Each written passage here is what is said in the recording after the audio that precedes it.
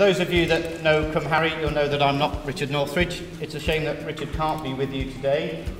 What I will say about Cymharus is we are doers. We're a sort of can-do bunch of people, and Richard Northridge is actually driving one of our collection trucks this morning around Mid Wales collecting food waste. So he, he's been there for a long time, but he's actually still hands on the ground as well.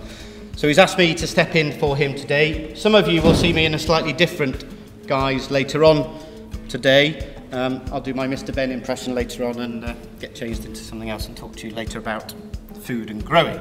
But I'm here to talk about zero waste today, and this is a project that Cymharus had been running for three years. Um, just come to the end of our pilot project. Zero waste for us is all about slow recycling. And we were set a one year pilot project. Can we get a community to reach the government, Welsh Government targets for recycling? That was our remit. The answer is yes. The only way we believe it can be done and can be done effectively is through connecting with the people on the ground, the communities that you are asking to recycle. And that's what we did. We provided a full waste collection service for Presteigne and Norton on the edge of Montgomeryshire on behalf of effectively Powys County Council and Welsh Government. Our emphasis was on the people on the ground, so our team of employees and the communities that we were working with, not £100,000 shiny trucks, as you might see in lots of other areas. And in fact, our shiny truck was a milk float, and still is a milk float, solar powered milk float as well, so nice and energy efficient. And we literally walked behind that milk float and collected the refuse and the recyclates from the households. While we were doing that at a really nice slow pace, we could talk and engage with the people that we were asking to help us reach these targets. Can you stand uh, in front of there Yeah. so we can pick you up on the mic? Get a big stick, keep me in one place. Um, we recycled 15 streams of recyclate. Powys County Council has just issued their new curbside recycling collection service, and they've managed to get that up to 12 strands, which is pretty impressive, much better than their half a dozen or so they were doing before. What we did was gather in that recyclate. We sorted really well at the curbside. If you can imagine a milk float running along at three, four miles an hour, the staff had a real chance to sort through what was in those bins, make sure it was going into the right compartments.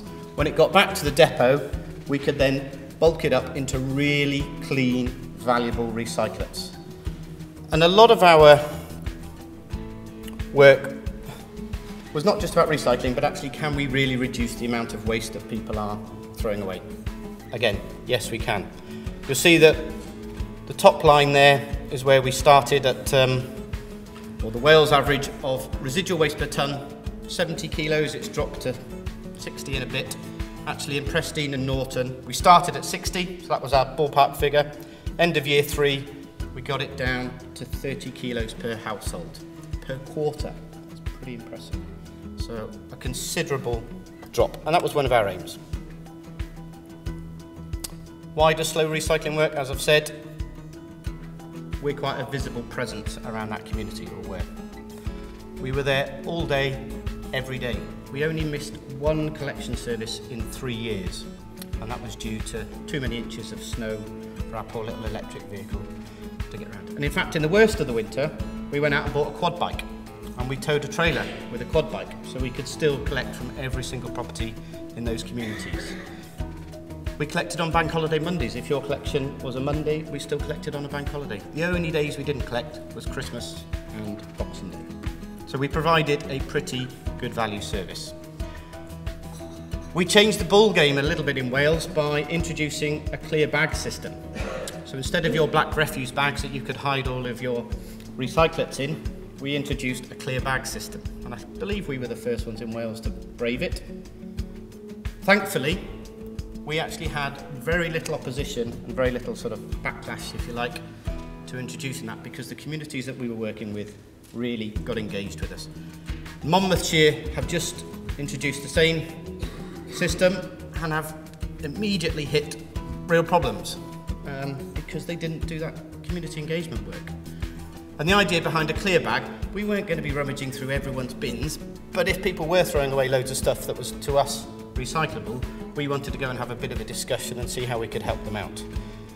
There were opaque bags provided for sort of sanitary type wear, um, medical items and things like that. We weren't trying to pry in people's bins, but it worked for us.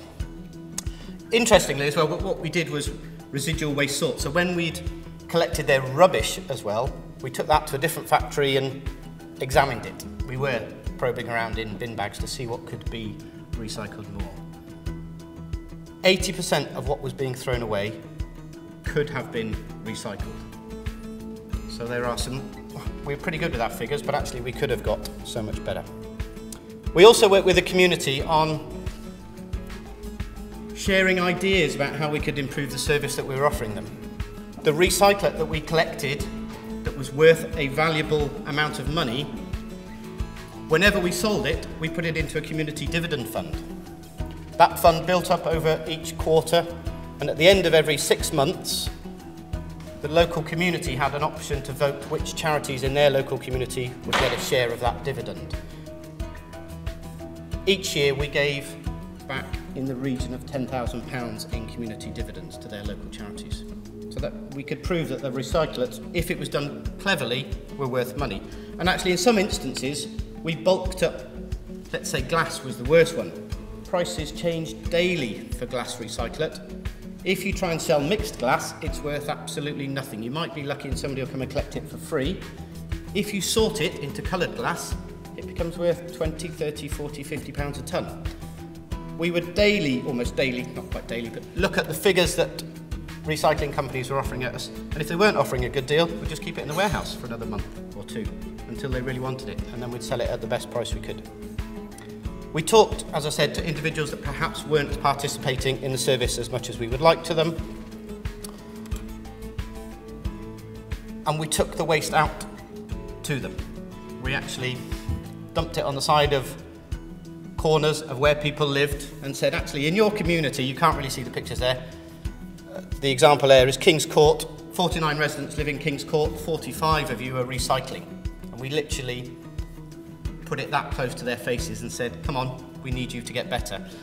I don't think there'd be many local authorities that are perhaps brave enough to do that. Um, there may be, I'm not so sure. Community was pretty impressive. Um, and people didn't mind, I'll be really honest they saw the funny side of it in a way, but actually they could see the, the stronger messages. I was asked to talk about challenges and what next. One of the issues that perhaps we faced. Year one, we were asked to say, can you get it to work? We got Presteigne and Norton to 63%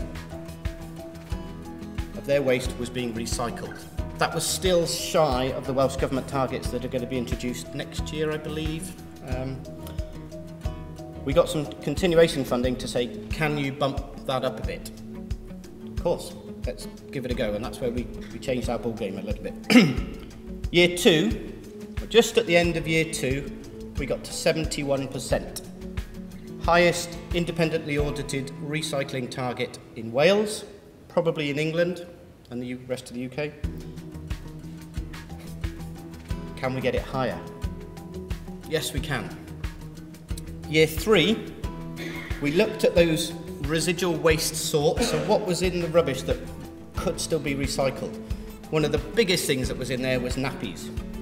Not a particularly pleasant thing to be looking at in a waste sort, but actually in year three what we did was target people with young families that are using nappies and say actually what can we do about this waste because I'm sure you're all aware of the amount of nappies going to landfill is, is ginormous. And actually, there are recycling companies now that recycle nappies, amazingly. Um, and we started to recycle nappies in Presteigne and Knighton. We were having to ship them out of Wales even because there's no recycling facility in Wales that I know of. We managed to then get the communities up to 75% recyc recycled from their residual waste pretty impressive. We believe we're probably the leaders in the whole of the UK and possibly pretty up there.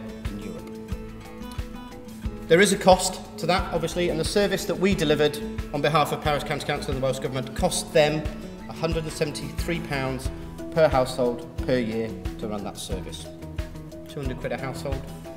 If you look at a shiny new truck that costs £120,000 plus, how many households could you have got that target up to if you put £200 a household?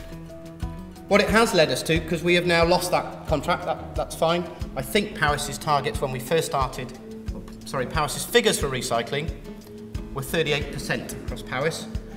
They're in real danger of hitting these um, fines from the Welsh Government.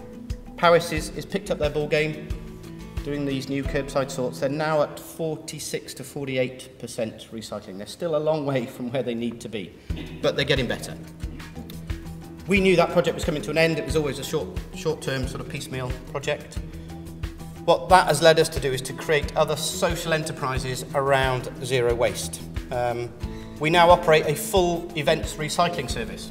So we go to fairly large scale events. We're doing Hay Festival this year. We do the Royal Welsh. We do the Spring Holders Fair. And we take a small army of pretty much volunteers, people that are brought in on a day rate, and we collect the waste streams from those events and we sort it to the best of our ability. Ideally, they sort it when they drop it into the correct bins. We then take that away, recycle whatever we can, landfill what we can't, and we'll report back to the event organisers on their performance of that event. What we have the chance then to do is actually talk to thousands, possibly tens of thousands of people at events about waste and what they're doing with it. So that is now a standalone entity under Cymharus, self-financing. We obviously charge the events for running that service. We then started to look at what we have now termed rubbish diet. And that was about a sort of slim your bin option, I suppose. We set up small community groups that would go out and talk to community organisations. Many of you are involved in those sorts of things. And we'd sit down with you and say, come on, think about what you're buying have a look at the packaging that's going into your bin. Where can you buy something from locally that you don't need to put it in 10 different, like lots of packaging before it gets home, and that sort of thing. And linked from that was the Museum of Bad Design, and that was actually about when you look at a bin, there is a load of stuff in there that is just poorly designed.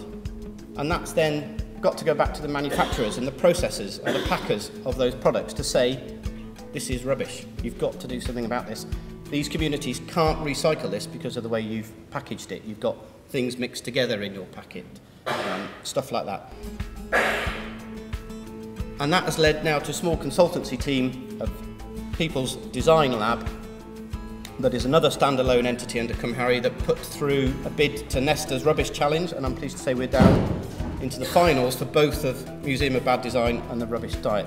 If we pull that off, we get a £50,000, thank you very much, to continue that work at the more senior level of the processors and the packers and the product developers to say, come on, let's change your ball game, not having to put the whole emphasis on the communities. That's it from me.